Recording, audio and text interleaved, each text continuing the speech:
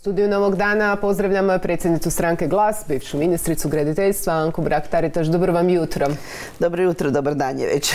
Dobar dan je već, da. E, evo, dvije godine skoro od zagrebačkog potresa. Jutro smo zabilježili konačno e, rušenje ove zgrade na uglu Petrinske i Đorđićeve koja je e, onako vizualno bila simbol zagrebačkog potresa. E, donjeto je 147 rješenja u uklanjanju 159 građevina, međutim stalno i iznova moramo, moramo staviti to u kontekst doista velike, velike e, sporosti, e, dakle još nije krenula ni fizička obnova. Pa ja bih rekla da je to zapravo užasna sramota ove vlade. Dakle, Utorak će biti točno dvije godine od potresa koji je zadesio grad Zagreb. Ne trebam vas podsjetiti na one slike kad je padao snijeg.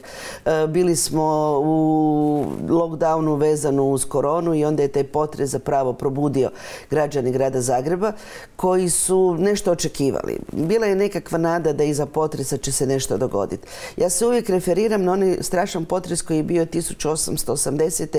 gdje je iza toga grad Zagreb od jednog onako malog gradića na rubu jedne velike monarhije postao i dobio konture današnjeg grada, dakle jednog srednjoevropskog grada. I ja sam nekako, moram priznati, cijelo vrijeme, bez obzira kako je to išla, nadala sam se da, da će se iz neprilike koje je zadesila grad Zagreb, ako to tako, tako mogu nazvati, stvoriti jedna prilika da će ići transformacije pojedine dijelove grada. Nažalost, voljela bi da me neko demantira za godinu, dvije, tri, to se dogoditi neće. Obnove nema. Ovo što je danas je jedna mala pokazna vježba, evo mi smo ipak odlučili nešto raditi. Ta zgrada je trebala biti srušena u trećem, četvrtom, dakle potres je bio 22.3. Ona je trebala biti već krajem trećeg mjeseca, odnosno početkom četvrtog mjeseca 2020. srušena. I opasnost. Dakle, ona je bila opasnost. Ona je prije bila u lošem stanju. Ovaj potres ju je samo dobro protreso. Sve što je trebalo biti uklonjeno u gradu Zagrebu je trebalo biti uklonjeno u prvih godinu dana. Nakon godinu dana je već trebao biti veliki građevinski zamah. Mm. Vezan uz privatnu izgradnju, vezano uz zgrade javne namjene. Toga nema Nažalost, ja bih voljela da nisam u pravu. U vašem studiju sam već, ja bih rekla, desetak puta na različite načine govorila. Svaki put bih ponovila istu rečenicu. Voljela bih da nisam u pravu da nešto krene. Mm. Obnove dve godine od potresa u gradu Zagrebu nema sustavne, organizirane obnove kakva treba biti neće ni biti. Onaj koji se snađe, snađe, ko ne, nažalost. E, mi smo desetke razgovora, da ne kažem stotinu, odradili sa ljudima iz struke i građaninskim e, vještacima i razno raznim stručnjacima i onda kad su uspoređivali e, što se događalo prije ovim prijašnjim potresima i nakon potresa u Skopju i Dalmaciji kad su bili neki potresi, pa kažu da se sve to jako usložilo u smislu e, zakona, e, pravila, e, fondova, javne nabave, da, da je to toliko puno administracije koja ne opravdava, ali da je prije bilo na neki način jednostavnije. Gledajte, kad je bio, zakon je bio dakle u dva čitanja 2020. Prvo čitanje je bilo u ljetu, nakon izbora, u jesen je bilo drugo čitanje. Ja sam i na prvom i na drugom čitanju tog zakona tada rekla da ću biti protiv. Ne zato što sam politički s neke druge strane. Znate, imate neke, neke trenutke i neke zakone gdje bez obzira vi možete biti oporba i politički, ali ako je to dobro, ako je to, ako vi iz toga vidite da će biti određeni pomak, ne čarobni štapić, nego određeni pomak, jasno artikulirate i kažete uh, glasam za iz tih razloga. Ja sam bila protiv i tad sam rekla glasam protiv. Zašto? Zakon je neprovediv po zakonu nećete moći raditi.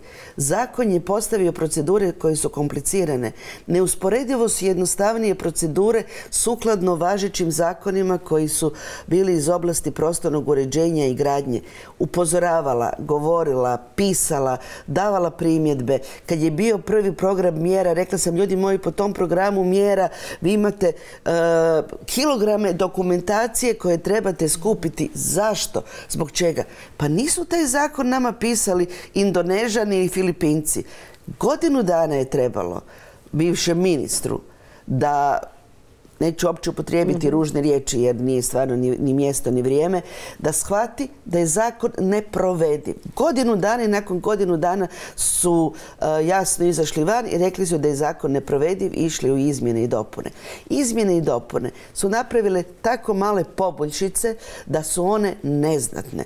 To je zakon koji se bazira na procedurama, na silnim papirima, na svim ostalim. Do stvarnog problema niti na području Banije ni Banovine da vi nemate dovoljno radne snage koje će raditi, da, je građevinski materijal otišao duplo više. Dakle, do stvarnih problema se nije došlo. Ovo sve što mi govorimo, govorimo o toj silnoj papirologiji. Dakle, Uloga i značaj građevinske inspekcije i prije i sada i u buduće će biti između ostalog da se putem građevinske inspekcije ruše zgrade koje su opasne za život u mirnim vremenima. Zašto građevinska inspekcija nije odmah preuzela stvar u svoje ruke i putem građevinske inspekcije se rušila u gradu Zagrebu? Trebala je godina dana da se ide izmijeniti jedna odredba u zakonu o inspektoratu, jer je sad veliki inspektorat gdje je građevinska inspekcija, kao da je to moguće. Ali i za te godine, sad je već prošla sljedeća godina da bi bila rušenja. E, sad čekamo i tu, e, da tako kažem, fizičku obnovu. E, ovo što je napravljeno, do sad je napravljeno, bilo je najavljivano u ožujku, ali čini se da se još neće u Zagrebu početi s tim. E, bili ste zapravo među najžešćim protivnicima e, dakle izbora e, novog, novog ministra Paladina. Čekali njega sad pročišćenija situacija nakon svih ovih popravaka i otezanja? Ma znate, patuljci pojma nemaju. Ja nastojim biti pristojna i na raspravu, odnosno e, na njegovo predstavljanje dva odbora išla sam izuzetno skoncentrirana i sebi sam sama rekla nemoj napadati čovjeka. Pusti čovjeku vrijeme. Možda je dobro da dođe i u ministarstvo. I ja mislim da je dobro da dođe nekakva drugačiji pogled, nekakva nova svježa krv. On možda ima, on je ekonomist, ali možda mhm. ima pogled s neke druge strane. Kako je išla ta rasprava, tako je meni, neću reći rastao tlak, nego mi išla para na uši van, jer sam vidjela da se taj čovjek nije pripremio. Dakle, on bazično se nije pripremio, ni, ne zna ni koji su resori u ministarstvu. Ja ne mislim da, da on mora znati u detalj, možda će završiti mandat, a neće znati neke detalje i ne mora znati sve. Ali barem da se je pripremio, da zna koji su osnovni, osnovne grupe problema u tom ministarstvu. Dakle, mi o obnovi u Zagrebu govorimo već dvije godine. Govori se već godina dana o području Banije, Banovine. Pa mogao je pozvati neke svoje kolege koji su inače uh, aplicirali i u natječajima i bavit će se obnovom i pitati njih, pozvati ih za stol i reći ljudi moji, dajte mi molim vas svi recite što je problem. Jeste e, dobili natječaj? Jeste. Jeste radili dokumentaciju? Jeste. Dajte vi meni označite tri problema pet problema. Imate možda ideju kako da to riješimo. Ja sam to očekivala, znate, ako se vi pripremate doći na čelo tog resora, taj resor ovaj opterećen uh, tom problemom obnove koje u Zagrebu nema, ljudi moji, nema je, nažalost. Ja sam očekivala da će se čovjek pripremiti pa neke svoje poznate koje u poslu sreo, jer je bio u poslu vezan uz građevinski sektor, da ih je posio za stol i pitao dajte mi recite ja od svojih kolega koji se s tim bave sam s terena često dobila e, podatke. Ja sam, dakle, od mojih kolege koji su se i bave obnovom, oni kažu mi svojim klijentima uvijek savjetujemo ne da idu po zakonu kojim se definira obnova, nego po staroj regulativi i proceduri, dakle, zakon o gradnji, odnosno pravilniku o jednostavnim radovima, jer je i njima i nama jednostavnije. Dakle, morate razgovarati, pa ne radimo, ne radi se taj zakon za neku, za neke imaginarne ljude, za neke laboratorijske uvjete. Taj zakon zakon koji je na snazi bi trebao olakšati procedure onima koji donose rješenja, građanima koji daju zahtjeve i da vi što jednostavnije dođete do krajnjeg učinka da se nešto radi. Mm. E, idemo sad i na ovu temu o kojoj razgovaramo zapravo već devet e, dana, dakle sve ove sigurnosne e, okolnosti oko pada drona. Jučer je premijer okupio predstavnike parlamentarnih oporbenih stranaka. Dobili ste najnovije informacije. Pogledat ćemo prilog pa nastavljamo razgovor. Prvo brifiranje oporbe u Banskim dvorima, pa prezentacija za članove Saborskog odbora za obranu. Nakon tjedan dana konfuzije u javnom prostoru, premijeri ministar obrane pokušavaju zaokružiti priču i iskontrolirati štetu. Da je ta bespilotna letjelica bila naoružana, da je došlo do eksplozije, da je najvjerojatnije bila riječ o e, aviobombi. Oni koji se ovim bave nisu u tom trenutku, s obzirom da je bila slaba refleksija, slabo prepoznavanje, e, doživjeli tu letjelicu kao nešto što je zaista u zraku i od čega prijeti opasnost. Još uvijek imamo više pitanja nego konkretnih odgovora. Možda je riječ o pogrešci, možda je riječ o sabotaži, možda je riječ o namjeri. Odgovor e, nemamo u ovom trenutku. Sada kada sigurno i provjereno znamo što znamo, a što ne znamo, premijer očekuje da svi budu na istoj liniji. Što više odgovornog ponašanja, što više odgovornih izjava, što više politike koja je na pravoj strani i prava i povijesti. U oporbi smatraju da je dobro što je do sastanka došlo, ali odgovornost prebacuju na drugu stranu Markovog trga. Nije bilo dobro komunicirano, ljudi su bili uznemireni. Odgovorni su oni koji su u našem sustavu zaduženi za komunikaciju sa NATO savezom. A potpuno je jasno da je to vlada, a ispred vlade Ministarstvo obrane Republike Hrvatske. Ja mislim da imam dovoljan kvocijent inteligencije da mogu pročitati iz medija i zaključiti koliko je ozbiljno i koliko je neozbiljno sve ovo što su oni nakon toga radili. I meni zato ne treba predavanje od 45 minuta. Za mene predsjednik vlade se bavi ozbiljnim stvarima. Ne bavi se sad tipo PR uratkom u kojem on govori eto koliko je ozbiljna situacija. Hello, Sherlock. Članove Saborskog odbora za obranu o detaljima je izvijestio tim iz Morha zadužen za istragu. Sjednica je bila zatvorena za javnost, a dosadašnji rezultati istrage prezentirani su im puna tri sata. Onaj dio koji je bitan za građane, to je da građani mogu biti mirni, da mogu biti sigurni. Ovo je incident, ali doista naglašeno incident koji se dogodio i koji se ne smije ponoviti. Incident kojem još uvijek ne znamo ni početak ni potencijalni kraj. Čekaju se podaci iz crne kutije. Dakle, iz uh, flight recordera koji će u sebi imati određene podatke i da će poslužiti se u komparaciji odnosno nove informacije koje imamo iz radarskih sustava. Naravno da će to za sve treba biti potrebno vrijeme i da teško je govoriti o tome da će se to dogoditi sutra, prek sutra i tako dalje. Je li moguće da nikad ne saznamo tko je zapravo ispalio tu letjelicu?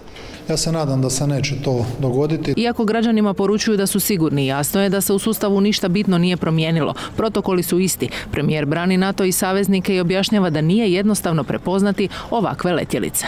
Da vidite kako izgledaju ti radari, koliko je točkica na njima, koliko su male, koliko se pojavljuju i nestaju, onda biste shvatili kako je to kompleksno. Pa kažem vam zato, postojala, nestajala, je, nije, nije to jednostavno vidjeti. Ja nisam ekspert za to, ali iz ovog što sam osobno išao vidjeti i u naš centar i u Torrejon, to treba puno iskustva, znanja i e, prepoznavanja. Dakle, te letjelice su napravljene tako da ih se ne vidi.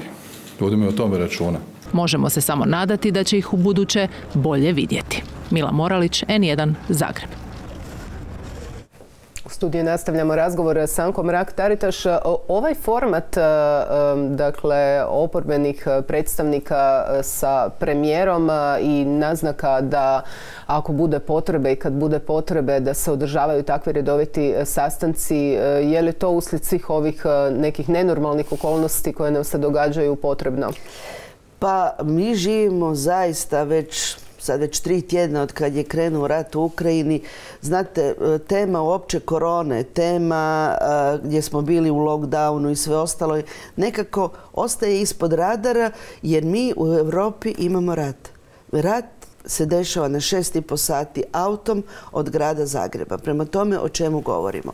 I to su neki trenuci u kojem nisu mjesto za jačanje mišića, nije dokazivanje ko je pametniji, zgodniji, višlji, ko je u javnom prostoru domišljati, nego je tema da se sjedne za stol i ja ocjenjujem i mi smo se u oporbi i složili da je to format u kojem odrađujemo te sastanke, na kojima dobivamo određene informacije i na kojima kojima možemo i neke stvari i pitati i neke stvari postaviti. Mi, e, ono što je dosta važno, dakle kod nas je ta memorija, odnosno sjećanje na strahote koje smo mi prošli svježe. Svježe su i među ljudima koji su tad bili djeca, dakle prema ljudima svim životne dobi. I kad se ovako nešto desi, mi imamo posebnu empatiju prema građanima Ukrajine jer znamo, jer smo mi to isto prolazili, ali imamo i ta nekakva sjećanja, znate da se stresete kad avion leti, vi se malo Malo, mhm. malo Nisu vam se svidjeli ovi, ovi preleti nije, zajednički. se baš nešto nije svidjelo. Dakle, e, nekako se malo stresete. I to je razlog zašto je, e, postoji trenuci u kojem trebate, bez obzira jeste oporba, niste oporba, sjesti za stol, ali što je još važnije? Važnije je da u javni prostor idu provjerene informacije. Ja, važno je da od ljudi koji su, dakle, od vladajućih, ali i od oporbe ne idu, ne ide e, širenje straha, širenje neizvjesnosti, širenje teorije zavjere, nego da informacije koje idu budu što točnije. To je ono što, što je zakazao i premijer i njegov ministar obrane koji je već prvi dan rekao sva moguća čudesa ili ne čudesa i mi smo jednako tako to i na tom sastanku rekli. Rekli smo dajte i vi vodite računa. Javnost treba znati. Javnost mora, mora biti informirana, ali nemojte sa poluinformacijama ili netočnim informacijama izlaziti van jer zbunjujete javnost, plašite građane, a zapravo onda i mi koji se nalazimo u oporbu imamo pravo i trebamo pitati što je istina. E sad, kad govorimo o nekoj potrebi umirivanja javnosti i naravno istinitog e, informiranja, taj pad e, misterioznog e, drona koji je ostavio mnoga otvorena pitanja, smatrate li da javnost treba do kraja biti upoznata sa svim informacijama? Evo, predsjednik Republike smatra da su neke, dava nasluti da su neke stvari možda i ovaj državna tajna, dakle da ne treba sve izlaziti u javnost. Dakle, ja se mogu tu složiti apsolutno s predsjednikom Republike. Postoji neke stvari koje su tajne, postoje neke stvari koje ne možete izvan neke sobe reći, postoje neke stvari koje možda samo znaju predsjednik i premijer, ili je takva mhm. situacija, ali postoji jedan nivo, nivo informacija koju javnost treba znati.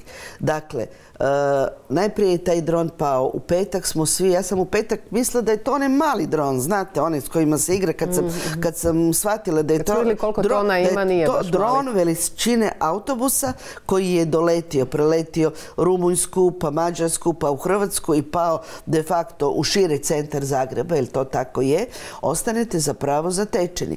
A onda je te dezinformacije, te je bila bomba, te nije bomba, te ima 120 kg, te ima nekakve druge. Te ima ovako, te je eksplodirala, te nije eksplodiralo. E, dakle, to je bilo niz dezinformacija ili poluinformacija ili uopće zbunjujućih. Ja mislim da uvijek trebate imati nekakav okvir, u tom okviru morate biti jasni, točno znate dokle možete reći, ali treba jasno reći. Da, doletio, da je dron, da je dron, odnosno ta bespilotna letjelica je doletjela s koje strane, da li, je, je došla iz Ukrajine ili je došla iz uh, Rusije, mi to ne znamo. Da, na letjelici je bilo to, to i to, pala je tu, radari su je zabilježili, odnosno nisu je zabilježili. Rezultat toga je bilo da mi smo članica NATO-a, inzistiramo na novim procedurama i želimo da te procedure budu odgovornije, ozbiljnije i nekako konkretnije. I to je nešto što se je trebalo i reći, a ne to zbunjivanje, te eksplodirala, te nije eksplodirala, te će eksplodirati. Osim toga, tu postoji ta crna kutija koja je naranđasta, to je premijer na sastanku svaki put rekao, crna kutija, ali ona je naranđaste boje, pa i ja to ponavljam. Dakle, to je simpatično, nije to ništa, ništa ovaj, krivo. Dakle, ta crna kutija je jedan od elemenata iz, iz kog vi možete nešto iščitati. Osim toga, ajdemo biti do kraja razumni. Riječ je o špijunskoj letjelici. Pa ne ide špijunska letjelica tako da obavijesti sve, sad će doći špijunska letjelica. Dakle, tu je niz stvari koje treba jasno reći. Dakle, mi možda u javnosti nećemo znati sve podatke do kraja, ali one podatke koje trebamo znati da se ljudi ne preplaše i da ljudi nisu zbunjeni treba reći, imati procedure što činiti dalje, da, da se tako nešto ne dogodi ili da se dogodi u najmanjoj mogućoj mjeri i to je nešto što u ovom času treba komunicirati i tako reći. E, da, otkud je došla i s kojom namjerom to očekujemo još e, saznati. E, I za kraj, evo, nekoliko financijskih ekonomskih analitičara je također u našem programu upozorilo na jednu svojevrsnu paniku koja može nastati. Evo sad komuniciramo stalno što će se dogoditi i koje ćemo posljedice e, imati e, u smislu poremećaja opskrba namirnicama. Znamo da Rusija i Ukrajina su najveći, dakle uzimo puno, puno žita. Pa sad evo, jedan analitičar nam je rekao kad se širi panika, onda ljudi prazne police, pa i tu nastane poremećaj cijena i tako dalje.